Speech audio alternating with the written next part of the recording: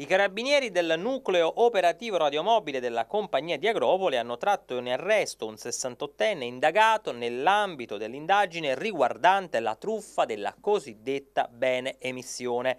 Il modus operandi era semplice, venivano contattati i proprietari di beni di lusso intenzionati a venderli tramite annunci pubblicizzati su siti internet. Successivamente i truffatori si recavano all'appuntamento muniti di assegno circolare falso e recatisi in banca per l'incasso facevano contattare l'istituto di credito emittente per verificarne la genuinità.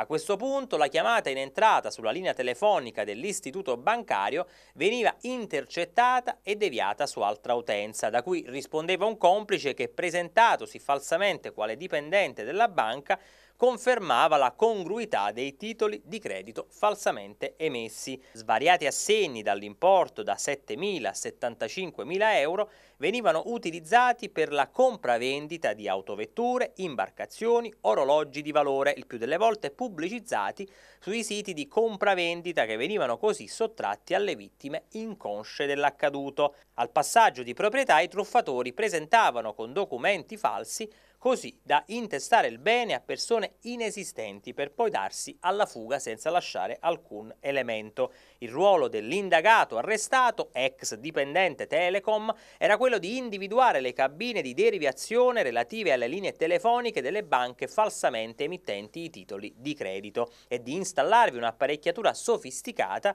finalizzata alla captazione e alla deviazione delle chiamate in entrata. L'indagine condotta dai carabinieri di Agropoli ha riguardato complessivamente 14 episodi in diverse parti d'Italia, relativi a truffe perfezionate con assegni circolari falsi, apparentemente emessi da istituti di credito dell'intero territorio cilentano, Agropoli, Castellabate e Matinella, per un valore complessivo di circa 500.000 euro. Nel corso delle indagini è stato possibile acquisire i filmati della troupe televisiva della trasmissione Le Iene che aveva realizzato un servizio andato in onda il 24 novembre 2019 sulle truffe dei Rolex.